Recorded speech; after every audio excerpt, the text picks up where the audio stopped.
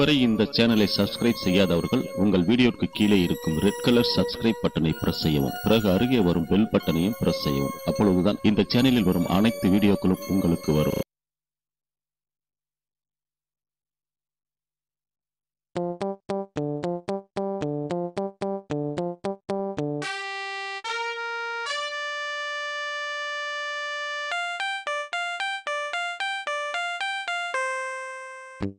Thank you.